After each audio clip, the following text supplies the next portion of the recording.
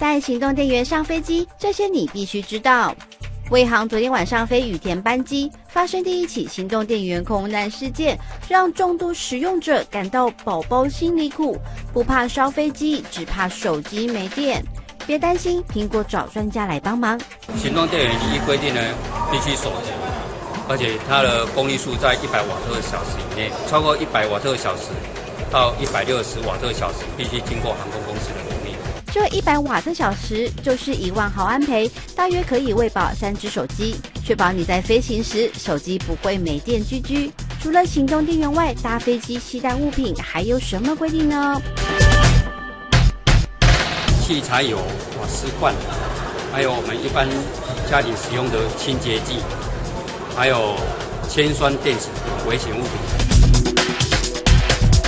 刀剪裂，以及。工具都是旗子啊，还有锯子等等，自拍棒、三脚架，而且最长不得以超过二十公分的东西，行动电源以及锂电池，还有一般的打火机，一般的打火机只能现带一个热蓝焰打火机，这是不能随身携带，也不能托运的。超实用，请分享报道。